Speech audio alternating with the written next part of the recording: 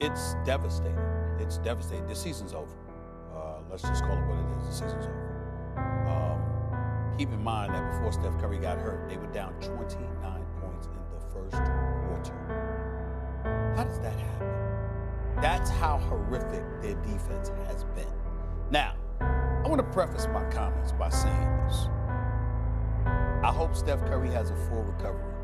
I love this brother as a person and as a superstar in the NBA. He represents everybody incredibly, incredibly well. Him and his wonderful family and the whole bit. And I don't want anybody to take this wrong because I'm wishing him a speedy recovery. I'm actually happy he's hurt. Do you think Kyrie will ever catch Curry as an overall player? Yes, the answer is yes.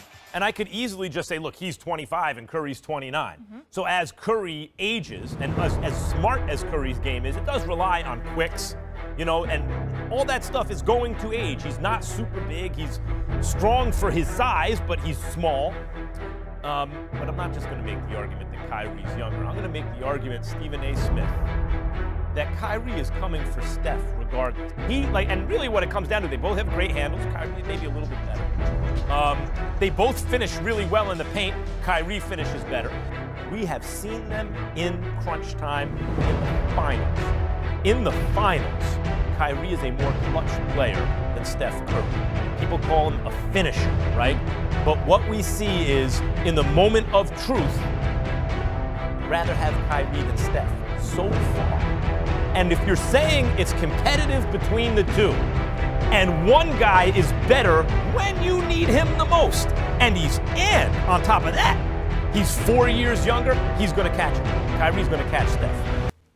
You know, Max, you have this habit of bringing up Steph Curry as if this dude is some choker. You know, he just doesn't show up. He, he doesn't get it done. I just want to throw some numbers by you because I know you appreciate numbers, sir, Mr. Analytic Dude. Do you realize that Steph Curry is averaging 26 points a game in the postseason throughout his career? 26 points on 45% shooting and 41% from three-point range. Now, obviously, those are numbers that dwindle just a touch from what he does during the regular season because he's a career 43% shooter from three-point range.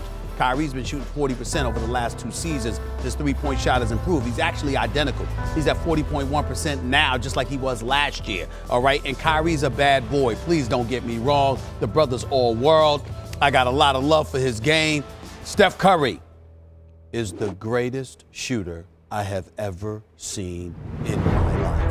I have never, in all my years of watching basketball, my apologies to Reggie Miller, the great Reggie Miller, my apologies to Ray Allen, my apologies to the Ricky Pierces of the world, the Dale Ellises of the world, the Steve Kerrs of the world, the John Paxsons of the world, the downtown Freddie Browns of the world, dating back to the 70s. The Del Currys of the world. The Del Currys of the world. The Klay Thompsons, the, the Klay Thompsons of the world.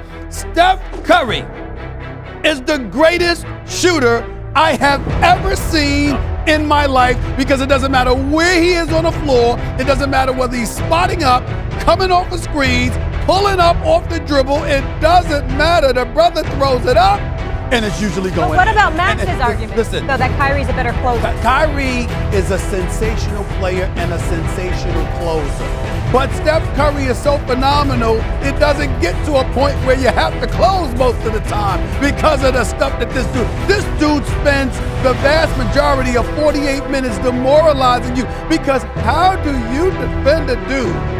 That literally is a threat from the moment he walks past half court. Do you understand that Steph Curry can say, this table right here could be half court. And the second this man touches the ball at half court, you're like this, oh no. Oh no, I don't know what I'm, because he might just pull up from there. And what I'm saying is in today's NBA game, Kyrie is the dude, Max, if we talking Rucker Park, if we talking West 4th Street, if we talking Kyrie all day. I mean, it's Kyrie all day. Every day he'll dance with you. The handle's nasty. He's all world. We get all of that. But Steph Curry is that dude. In today's game where you have to shoot, I mean, shooting is just everything. This dude the is the greatest to Couple ever things. do it. That's my issue. That's why I can't go with Steph Kyrie. changed the game. There's no two ways about it. He's the greatest shooter of all time.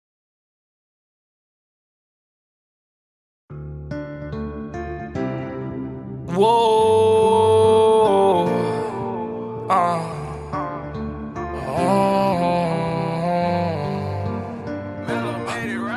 I try to be everything that I can, but sometimes I come out as being nothing.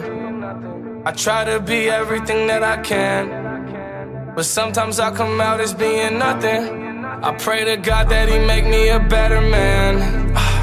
Maybe one day I'ma stand for something. I'm thanking God that He made you part of the plan. I guess I ain't go through all that hell for nothing.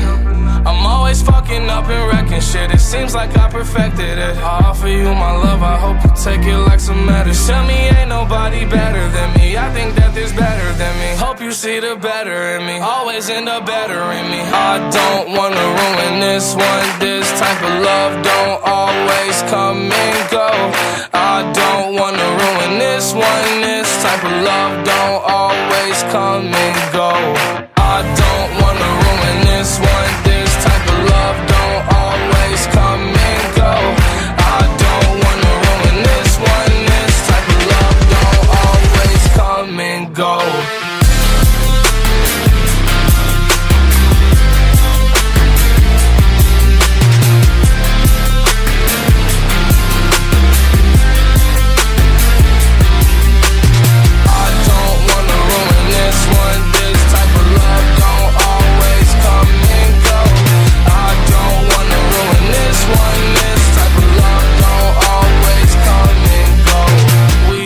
Drugs, then you hold me close, then I tell you how you make me whole. Sometimes I feel you like being alone. Then you tell me that I should've stayed in the room. Guess I got it all wrong all along, my fault. My mistakes probably wipe all the rights I've done. Saying goodbye to bygones, those are bygones. Head up, baby, stay strong. We gon' live long. I don't wanna ruin this one. This type of love don't